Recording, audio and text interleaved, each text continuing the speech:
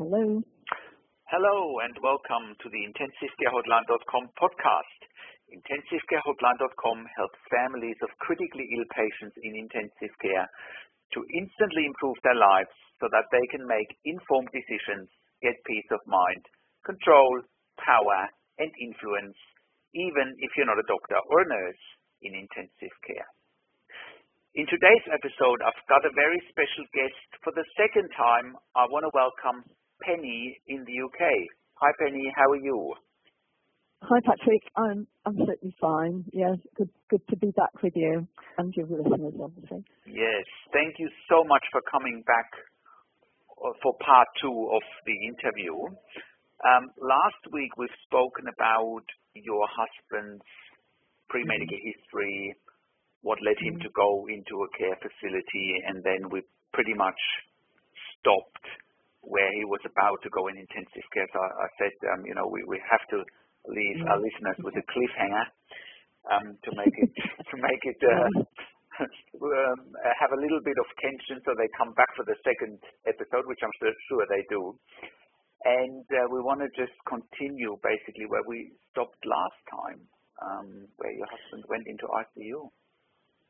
Um, that's great. Yeah, and just um, repeat this. This is like a scenario that affected me and my um, acceptance of what was going on, my judgments, my intuition, because the, a few months before, when Terry actually did have the same, exactly the same type of grand mal seizures, that, and he went into intensive care in the same hospital, he was in for two days. He was tubed. He was given antibiotic, but he was fine. He, good, had a good heart. He coped with this 120 something a minute that was on the monitor.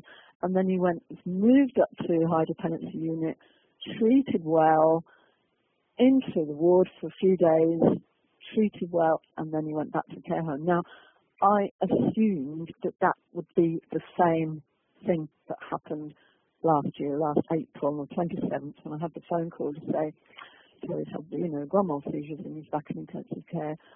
Um, so when I, oh, the only difference between the year before was the do not resuscitate had, had been um, reversed, so he wanted to live. Right, now that sort of sets the scene. And I went in to visit and saw him exactly the same as before, with the tubing, very well nursed. Uh, you know, can't fault the the way that the doctors are there. And there's one doctor or nurse for each patient. I was I've always been very impressed with the gadgetry and the monitoring. Mm. They're incredible.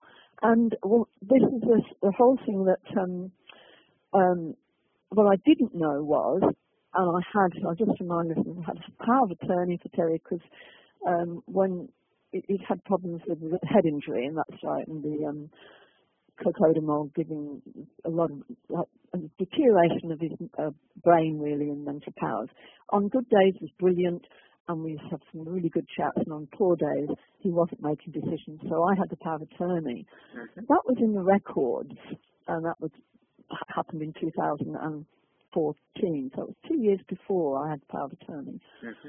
And what I didn't know was that a consultant, the same consultant actually misdiagnosed him when he had the head injury, suddenly saying you know, had a seizure and fell down the stairs when he'd never had a seizure before. It's really strange, isn't yeah. it, how you get these sort of yeah. and strange I, sort of almost. And I think we've, we've talked about this last time that he was misdiagnosed. Mm. Mm. Yeah, well, what what this control and in a funny way, I'm, I'm you know been a school teacher 27 years. I've been used to try and see things from other perspectives because when mm. you're teaching children, you yeah. you have to do that.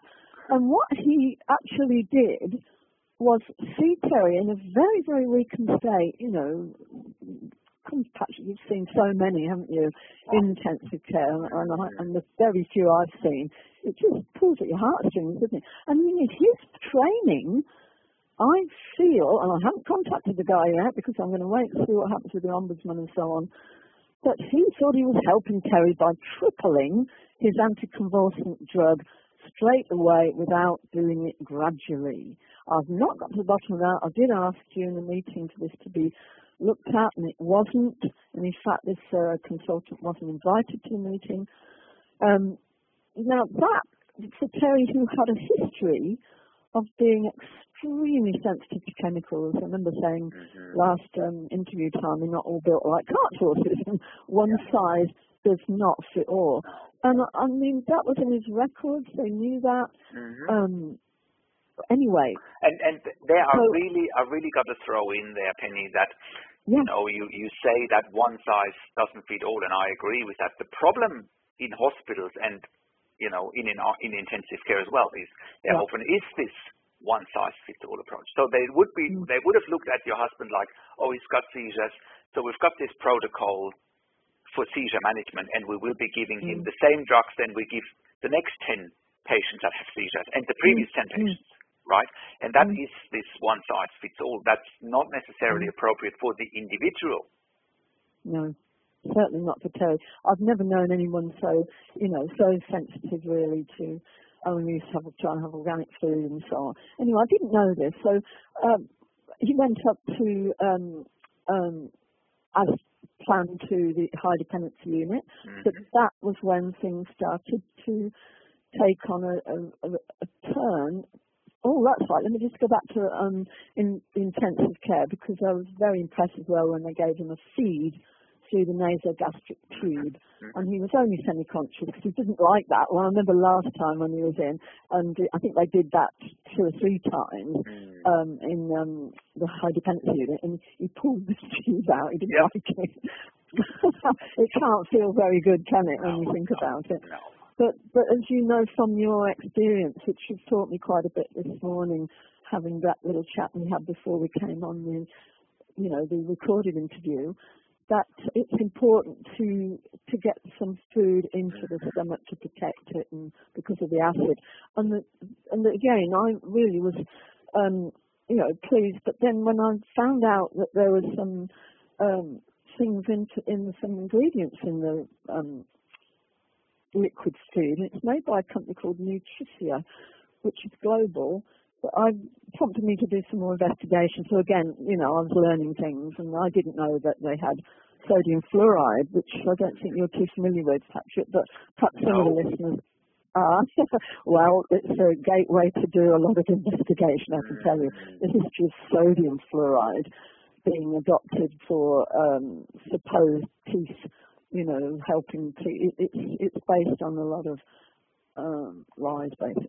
but if it was calcium fluoride, a natural mineral from the earth, I wouldn't have had any problem at all. But I was very surprised um, at that ingredient as well as the salt that is the um, sodium chloride again, which can cause side effects, which again, there's any side effects going from any of the drugs, Terry in the past, when he was more stressed, suffered from them.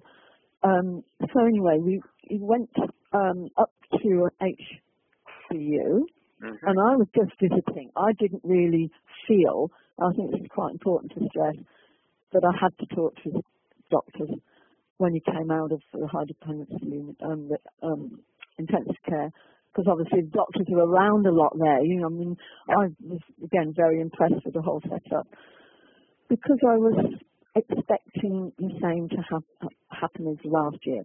Mhm. So when I went in um, to visit on, I think it was just before we went up to the ward, I was so surprised um, after he was sit, literally, he sat up in bed for the first time. This is a visit before he was joking with his nurses. I must tell you this because it's just, to, you know, his sense of humour was amazing. We used to have so many laughs. One of the nurses came to his bed and knelt down and Terry looked down at her and said, what are you doing? And she said, oh, it's all right, Terry, I'm just tidying up. And he looked at her with a smile and said, I'll tidy you up. And we, we all laughed. And that was, again, a false sense of security on my part. So imagine Right. how I felt when I went in next time Yeah. and he was nearly not sitting up, he was clutching his stomach, groaning, moaning, calling out with pain. I thought, what, what's happening? I had no idea. I go and run and fetch the nurse. Yeah. Uh, they're busy. It's a busy ward, very busy. who came over, oh, give him some paracetamol. And I, and I was really, really well. Now that I think is worth highlighting when I did look at the records and the ward notes, and obviously the report that came back from the um, trust after I'd written my, about my concerns, and this is very um, uh, strange to see that the report of that um, those symptoms, very stressful symptoms that Terry had, this horrible pain, was described as some discomfort and then serious stomach pain. There was two different types of descriptions, which is, is strange because, well, anyway. And that was in, and let me just clarify the opinion, that was in HDU. HDU for especially in HDU? Yeah, just before we went into up to the ward. Yeah. Okay, and and just yeah. to clarify for our American listeners or for our listeners in North America, HDU stands for high dependency high Dependency. It's mainly yeah. a UK thing. I think some some ICUs in in America have HDUs as well, but it's mainly a UK sort yeah. of. It's a step down from ICU. That's just uh, for yeah, American and ready for patients to go onto a ward, mm. which um, know, ready for discharge, which yeah, pretty much. I still thought would happen.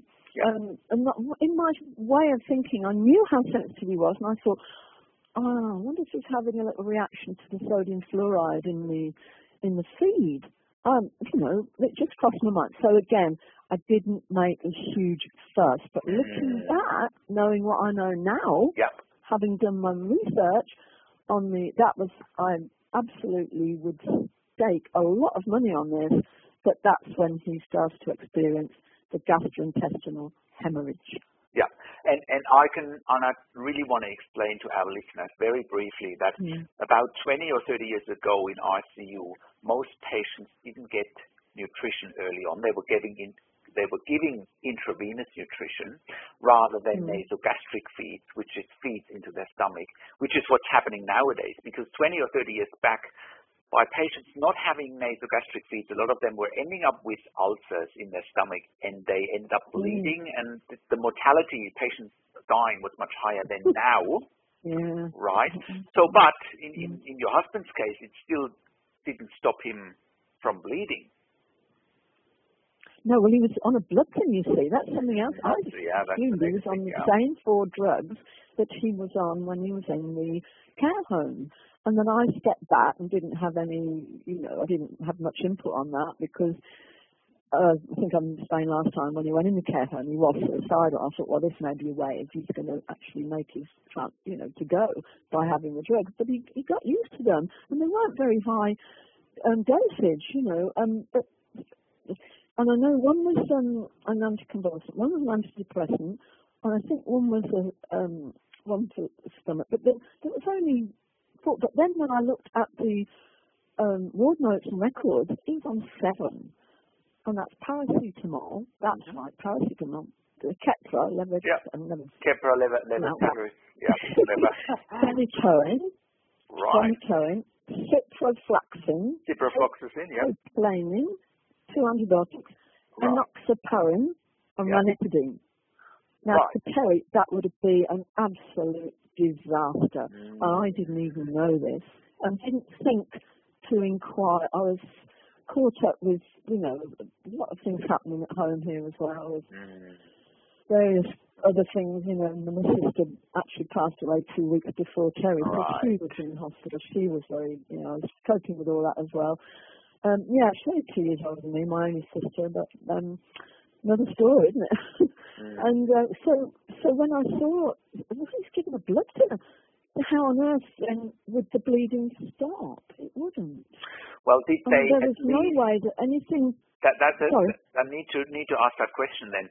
So he was getting the blood thinner, which is pretty much standard for any patient in ICU slash HDU, unless they have a mm bleeding condition, but he didn't have it up to this point. So then my next question yes. is, did they stop the Clexane when he started bleeding? Do you know? They never knew his stomach was bleeding. nobody ever knew, not as the days went past, which then oh, I witnessed the I severe deterioration, which started to really worry me. And all that was written in the notes was, oh, flat today, and right. then no concern no concern. That this is what I really feel I'm highlighting is what on earth are these doctors and nurses? What do they see when you know, a lot of them are brilliant. I mean, I like all of them. I like everyone until they prove to be, you know, Yeah. sort of And- get my suspicions up. Yeah, and you think that especially in an environment like HDU, which is a step down from Mhm. ICU, where where you still should have Mhm. trained ICU nurses, you would think that Mhm. people would pick up on early signs. You would hope that. It, it wasn't just that though, um, Patrik. It was the, all the symptoms that Terry started to experience. And what the main one was the difficulty swallowing, which again in the report they tried to make out that it happened in the community. Difficulty swallowing, and he never did have. So this is what's so sad, really, when they're desperate to protect themselves. I'm not going to go in for any suing or anything if we have the remedies, and that will come a bit later. Um, it, it, it's making out as though, not telling lies, he never did. Now, the difficulty swallowing meant that he wasn't getting any more nutrition, and they didn't do a peg feed. I didn't even know what that was till I looked in the records Yeah. after he died. Peg feed, what's that? But they didn't know, in, that's not been addressed as to why they didn't do it. And that was a few days into his nil by mouth. They kept trying to give him little swallowing tests, which didn't work. That was such a, an and, um, and um, ADR, you know, adverse drugs effect Yeah. of four or five of the drugs he was given, including stomach pain, bleeding in the stomach. Oh, I could go on. Yeah. And why? Why Mental was he depression. Why was he Neil Van Sorry? Why was? Because of the swallowing. Yeah, that started Ah. very, very soon, you see, after the, um, you know, the tripling of the, I think that was the tripling of that dose, anticonvulsant, straight away, instead of gradually, was a, a, a trigger. And the things like he's crying, I went in the next day, he was crying, he got diarrhea, he got a fever. Now, I'm just listing this off from Keppra adverse effects I've got in front of me, which is about a 80 or 100 listed. Um, but I didn't look at until, yeah, on the Friday before he passed away when I knew something was seriously wrong and I thought I've got to start an investigation here of my own. All of these that I've put and printed out and I've put um, the font in red, crying, diarrhea, fever, which made then the, the doctors think that he'd got a infection which needed another antibiotic. Do you see? That's where the two antibiotics came in. Anti means against, biotic is life. And the adverse effects, and I said this in the meeting in front of the staff, you know, the consultant and what have you, I said, I have never read, I hadn't had any cause to, the most jaw-dropping, appalling adverse effects from these, what's supposed to be helping, you know. Again, it's a case, classic case of inversion, isn't it? Whereas mental, dep- let's go on, mental depression, yep, um, sleepiness, unusual drowsiness, vomiting, feeling sad or empty, mood or mental changes. These are all, this is exactly what he had. Bloating. Now that's straight after he had the pain in the stomach. The following day, I went in, and although the paracetamol, the painkiller had helped with the pain, his abdomen was really bloated, and that was strange. And that's Again, something that a thought- nurse should have picked up. That is something that a doctor or a nurse he was should have on, picked up. he was on the ward by this time, Patrik. Right, right. He'd gone up on the ward. So just to clarify, so he had stomach pain in HDU. He was still Mhm. discharged to the ward without any investigation. Yeah, now I'm, I'm knowing that I, I need probably to check the dates and so on. I'm not very good on numbers. I'm, Mm. I was an art teacher and I used to do a lot of English. But there may be that this, um, the pain that I witnessed that was really bad could have been just on the ward. Uh, let me check that. Is that okay, no? Very, yeah, if you've got it here. We, we've got to continue the conversation. Yeah, no, I'll, I'll have to take a bit of time. I'll come back to you on that and perhaps you can put it Right. on your website. That would But be great. whatever, I mean, doctors and nurses, they're, they're still, they're just trained, aren't they? But they don't seem to be trained to, to see adverse effects at all. Well, that, Um, well, that's what they should be, you know. I mean, I'm, I'm very not. concerned that No, this has been happening time and time and time again since 1990 when Terry had an operation of his knee. 1995 he had his gallbladder operation and there were um, problems there that they didn't see. um, 1998, had a mental breakdown after my daughter took her own life, Mm. and the adverse effects of the um, antidepressants, not one, two or three at a time, uh, but I didn't know anything then. I'm going back quite a few years, aren't I? Before I had a computer, before I, Right, I was right, still trying to work, you know, and my living, right. and nobody noticed. Mm. And that was, and I had, but the good thing about it, it prompted me to do my research. I have about 16 books, a few which I'll just, a couple of, you know, the, the um, titles, uh, um, and I learned a lot. My God, did I learn. And I what? hadn't a clue about. Yeah. And when I saw in one or two of the antidepressant side effects could cause suicidal thoughts and seizures and so on, and even, and I'm thinking, and I said in the meeting, what is in these drugs? Something is wrong. Mm. You know, something is desperately wrong. Yeah. And what Um, happened on but the anyway, ward then? Sorry? What happened on the ward once your husband was on the ward? What happened? Right, what happened on the ward? Yeah. Um, he, uh, they put him in a side room. The more flat he got and the more sort of um, ill uh, and, and, and, know, a really terrible state. He was on his side, he was on his own room, um, still nil by mouth, nothing was, um, I noticed he got a thick white coated tongue Mhm. and they kept this was when I was starting to take more interest and they told me I could come in um outside visiting hours. Why I had a chat with the prescribing doctor because I was so upset about everything and he, he ended up not even having the strength to hold my hand. Oh, you look terrible and then um I had a chat with him. I said I'm worried about the drugs. I've had a look at the ward notes now. I said he's on a lot more drugs than he had before. I didn't know then that the Keps had been tripled the dose. You know, I was trying to take in everything and it was basically it was just too full on, too much. Mm. He supported everything. He was quite a nice guy. Um, everything that he'd done and um we had a long chat because I, I know a lot of background about the medical profession. Um, Mm. Mm. um, he was a pleasant guy to talk to, but Right. he did.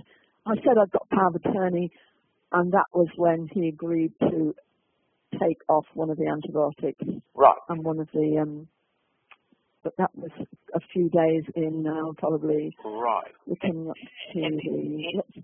And in light in light of everything that's happened at that point, there was no consideration for your husband to go back into intensive care. No, And No, why was I that? I don't know. Now that's the question I'll ask. Mm. I think the big- actually, that is the big question. yeah. Yeah, can I just say, have you heard of the Liverpool Care Pathway? Oh yes. Oh yes. Right. Well, that apparently had been stopped a while back. Yes. But looking at what actually happened, you know, and I mean, quite a lot of friends and so on, when I related the story, said, hmm, well, it sounds like he's on that care pathway. And that's what I said at, when I went in to pick up the death certificate two or three days after he passed away, and I refused it because it hadn't got the, you know, what I thought he'd passed away of, you know, adverse drug reactions, and it said pneumonia. And then I said, are you sure that it wasn't this Liverpool care pathway? Oh no, he said. But they just seemed to, you know, come and make him, say make him comfortable, and he was just absolutely not Well, speaking, flat out, Yeah. almost semi-conscious. And, and But then we saw the, sorry, given that he was so ill at that point in time, and you, you're now Mm. referring to the Liverpool pathway, people who are not, Mm. our listeners, people who are not familiar with the Liverpool care pathway, it's basically an end-of-life uh, pathway that has Mm. been rolled out by the NHS in the UK a few years back, but now they stopped Mm. using it again. But I do know from other clients, so they well, tell us. well, they tell Mm. us, but they, it's still being used. But cutting along I short, story, see. it also would suggest that if they use the Liverpool Liverpool care pathway, that they made your husband's DNR do not resuscitate. Have you got any any information around that? What's your what what's your feeling? It was reversed, yeah. No, the actual, um, um, Terry actually said on day three that he wanted, he, he was confirming the DNR was reversed. I wrote a letter, it was all reversed. It, there wasn't a DNR in place, Yeah. um, but I think they assumed there was. Mm. And, and that now we, let me get to this bit which when I just lifted up the covers of, of Terry because obviously he was being nursed. Well, I thought he was being nursed well, and I was. Um, he was flat out. He wasn't really with me, and all I could see under the covers was black tarry excrement. Excrement. Mm. I was absolutely gobsmacked. I called the nurse quickly. I said, "Look, what's what's what?" You know, and then when I'm looking at the drug uh, adverse effects after all this happened, after he died, and I went into it in a lot more detail. Black tarry stools, Yeah. and that, and then he started giving him blood. The next, oh, well, let's go back to the black tarry. I mean, Yeah. it was a shock. I've never seen anything like Right, before in right. my life. Yeah. And I called the nurse, and they, they this was the Saturday before he died. On the Sunday. They passed, cleaned him up. You know, I went out the room, they cleaned him up and put all the stuff. But you see, it was the weekend. Have you heard about weekend problems in in hospitals? Oh, look, I mean, staffing staffing tends to be minimized on weekends for a number of Yeah. reasons, and I, I, I mean that's not I know. that's not nothing new to me, having worked in ICU for 20 years. nothing new to me. Yeah. Um, that Apparently, staffing a lot of deaths at weekends. mm, and after hours and after hours. Mm. Mm. Well, anyway, I had to ask, are you going to not do anything? Send something off for a sample? And all I got was sort of really blank looks. Nobody really, you know, responded. I suppose they see it a lot, but, but all I kept thinking of, Patrik, what's caused that? I didn't know there'd been a hemorrhage, nothing. Right. And then when I went in the next morning, he was giving blood. He, he, I said, "What? What's going on here?" I knew then that the sodium chloride caused swallowing difficulties and fever, and I was upset about that because he was take, having a lot of um, intravenous saline, which you think would be sea salt, healthy salt. It's not, and I knew that then, and I, I just had to, you know, I was really going through quite a lot of as poor poor old Terry, and I just felt I, I didn't know what to do to help him. Mm. But they were giving, oh, his hemoglobin's low was Yeah. the main yeah, it would have been. Yeah. yeah, and I thought then, mm, that's. And then she brought the blood, um, you know, the bag, empty bag, when it had come, come out the um, the, the unit, Yeah. walked past me to go out the room, and tripped. The, and she saw it trips on the floor, of blood. She left it. She left it. I clear. I'd had an apology from that, but I cleared it up with a blooming Right. the And and your husband was he conscious at that point in time still? Not really, but he, I was now. This is interesting. Let's just touch this because I know time's going. When I noticed that thick white t- coated tongue, this is all coming up towards the last few days. I was concerned, and I've had a tip off from a friend who's a complementary health practitioner, and he said that means there's problems in the stomach, there's gastric Yeah. problems. Yeah. I said, oh. But they should have Now, I, up. now all I did, Patrik, I went and got a jar of Manuka honey from the supermarket on the way to the hospital. I took it in and I took my own spring water. They put tap water with chlorine and chemicals in it on the patient. So I took my own spring water. I put a little bit of honey in the spring water. Now, I know he had nil by mouth because of the swallowing, but I gave him a teaspoon of this honey and his mouth opened Yeah. and he had it.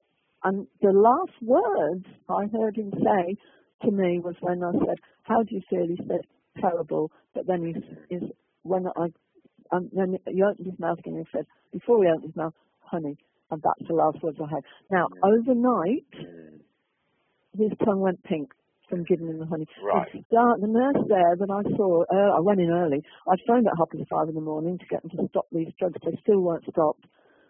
Um, you know, because that's all I thought was causing these effects, side effects. I didn't know about the hemorrhage.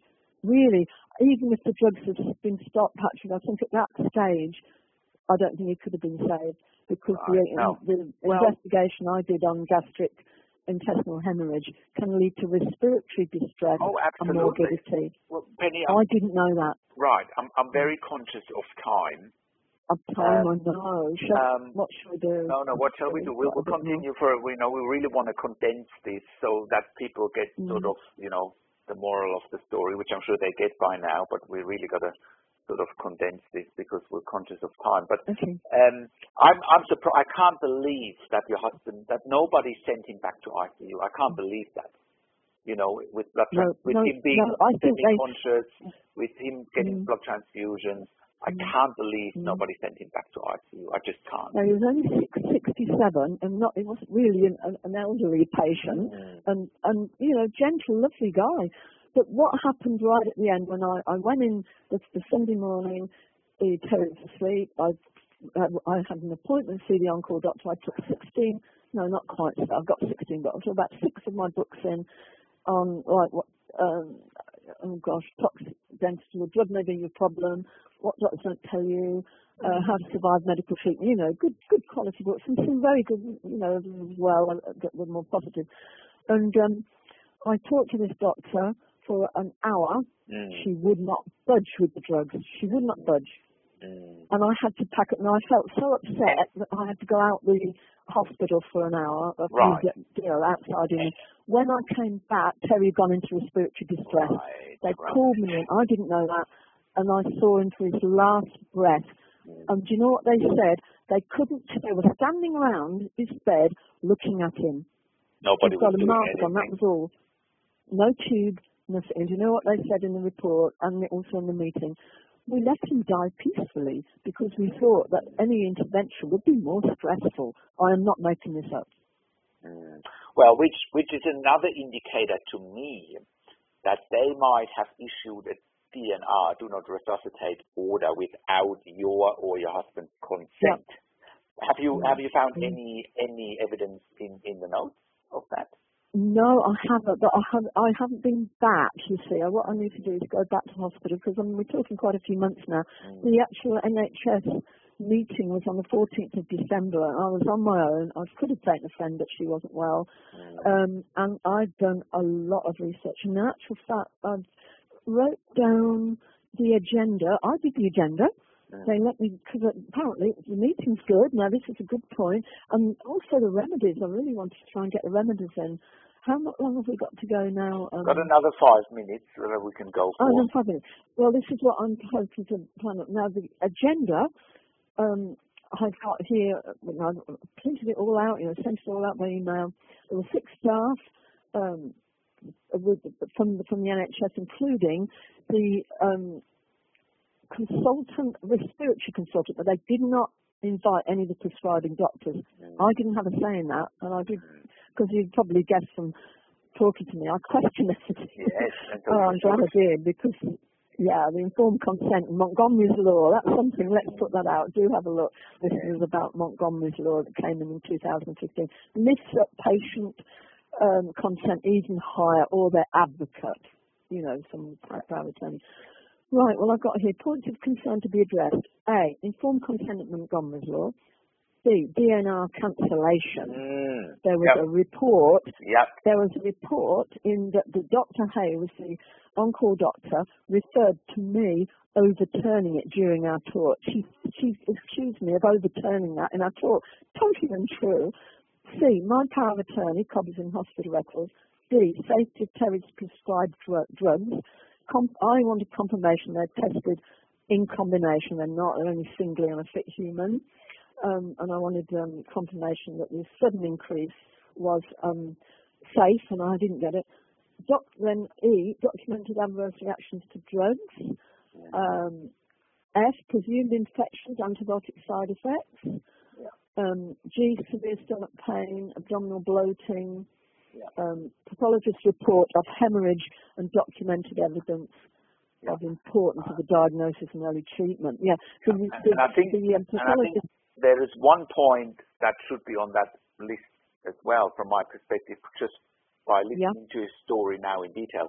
The last point that should, be, or probably should be one of the first points even on this list, should be why was he not readmitted back to intensive care? You know, that, yes, uh, that is that. Is the big question to me. Yeah. You know, that that might have prevented his his his, his Mm. passing.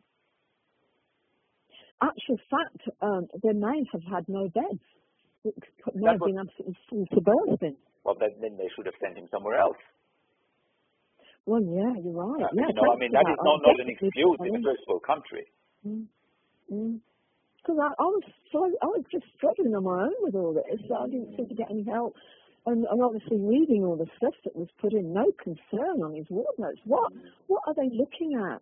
But anyway, it goes on. The new yeah, there's nutrition, meal by mouth swallowing difficulties, Mm. incidences of malaria. Is it? The Mel- type- yeah, malaria. Mm. Mm. Yeah, Blood- it- it- yeah, no concern yeah. the record. Mm. Yeah, and then it, it, it went on, um, uh, white coated term. This was denied. The, the gastro, the um, nurses and that, there, there was no knowledge that, that white coated tongue had any link with the um, gastric problems. They didn't know. And in the final hours of Terry's life, when I went to, the nurse called me as I came back in the hospital, quick, quick, she says, he's dying. I thought, what? My goodness. and I saw a chest x-ray machine being wheeled out of his room and the, the respiratory consultant in the report said that was probably a junior doctor. A chest x-ray? They, they Oh. didn't, uh, It- what we- a it- shame within though, that you know. within that time that they've done the chest X-ray, they could have readmitted him back to inten- into intensive care. They should have tubed him. Yeah, Why could didn't have they tubed tube him. Absolutely, absolutely. So you've got know, it- you- you've got a lot of questions to ask to the NHS, and I think the the moral of the the story really really, is here. a the lot of the moral the moral of the story really to fob me off saying, you know, uh, uh, there was a lot of it was was was helpful really. Mean, I, I enjoy. I want to just try and find out where they're coming from, and I think it's um, uh, one they're very busy. Two, they're tra- the doctors are trained solidly to ignore adverse drug effects Mm. because I think in a way, if they admit to that, then that would uh, allow, uh, you know, medical negligence. Well, I mean, I, it, it, it's it's a minefield, isn't it, Patrik? It is a minefield, but I, I believe you know medic, medical negligence is a strong word, but I think in this case it, it's it's at the right place. This term, you know, I mean, if they let your husband die without escalating treatment, if there is Yeah. no DNR in place, then I believe the the term Yeah. medical negligence is appropriate. I, I, well, it's it's like a scenario that you you you couldn't make it up. I've never read anything like this. But the plans for remedies very very. Because right at the end of the meeting, they said that I could be involved in some of the meetings that they have, the Well- morbidity meetings. But I've not heard anything. Hmm. I hope But they're what I've got genuine. here, well, I hope- yeah, I it's hope- this plans for remedies. Hmm. Obviously, Well, Okay, Penny, I'm very Is it all right conscious run of time. I'm very conscious of time here. Um, we've got to sort of summarize the our two Sure, can I just go through the plans very quickly. Very quickly. Right, very quickly, hang on to your hats. One, educating all medical staff, including that's doctors and nurses, about Montgomery's law and importance of informed consent, plus checking for power of attorney and DNR cancellation, for example, which in Yep. patients' medical records. Very important. Two, educating all staff to recognise and document, documented ADRs. Educating medical staff to the fact that drugs are tested singly on fit humans and drug companies do not always publish accurate test results. Mm-hmm. Essential books are Bad Pharma by Dr. Ben Goldacre, Confessions of a Medical Heretic by Dr. Robert Mendelsohn, that's MD, Your Drug May Be Your Problem by Peter Breggin, MD, Booklet on Patients' Rights, published by What Doctors Don't Tell You, quote from one of the books, a drug to suppress a symptom does not always cure the underlying problem, but is able to cause more symptoms and a deterioration of the patient, sometimes leading to death. Four, give all medical staff information about the Oath of Geneva, especially as many medical herbalists have to take the Hippocratic Oath, which states first do no harm. Make plans to remedy this situation. Uh, five, after adequate research, insist on the replacement of refined denatured sodium chloride in saline solutions, which have documented adverse effects of healthy sea salt. Six, insist that harmful sodium fluoride is taken out of liquid feed supplied by Nutricia. Book Fluoride Deception by Chris Bryson, an investigative journalist published after five years of sound research. There's also an aspartame issue here, but that didn't apply when Terry was in uh, intensive care. Seven, educate and bring into practice the prescribing of good quality honey as a natural probiotic. Anti means against, biotic means life. This is an admission that antibiotics have documented adverse effects which are life threatening. Also, use honey to help gastric problems which are often linked to a white coated tongue. Eight, begin to practice true integrative medicine, which has been advocated by Prince Charles in brackets, the royal family takes herbal and homeopathic medicines and live healthily to a very old age. There is evidence that they have no toxic dentistry or vaccination. That's it. Eight remedies. What are the chances? That's fantastic. keep hoping in. Mm. Look, Penny, I'm I'm very grateful that you've shared that you've shared shared your story with our listeners. I mean, it's a very it's a very sad story, but you've been mm. you've been kind enough to spend all this this time on the interview and share your story. That's not long ago, mm. really. It's not even 12 months. So, you know, no. I think you you're probably still going through the motions, and I really appreciate you yeah. coming on and sharing this with our listeners, and and hopefully. Oh, thank you. Thank you. Giving an example for them what to pay attention to if they're in a similar situation, if they're concerned about mm. treatment, if they're concerned about how they're dealt with, you know, if they have questions, not to wait you know, bring it out in the open, do their research before it's mm. too late. Absolutely. I think the thing is, is to it's the informed consent and it's the questioning in with a friendly level. You know, not not to not. It's it is difficult when you're very worried, obviously, and I've. I always tried to be as I've said to doctors quite a few times. Look, I know you're doing the best you can with the skills you have. I said, but you know, there are certain when applied to Terry things that are uh, worrying. Um, but it was, you know, when when I started to get involved on that level, it, it basically was, it was looking back, it was too late. The only thing I have learned an awful lot. Terry has been my teacher, and I really want his death not to be in vain. To some good come from it. Is that all right? That's, like that? that's fantastic. That's fantastic. Oh, Penny, Penny, thank you. Well, you're doing a good again. job as well. Thank you, thank you. I think we're all trying our our best to mm. educate people. Penny, thank you once again for coming on to this two-part series. If you want to listen to the first part of the interview and you haven't done that, please go back. It's uh, on our podcast series. Um, Penny, want to thank you once again. Now, for our listeners, check out intensivecarehotline.com. Check out the Your Questions Answered section where we answer all of your questions. You can also get one-on-one counseling and consulting with me over the phone, via email, or via Skype. Check out that. And if you have any questions, just send us an email to support at intensivecarehotline.com.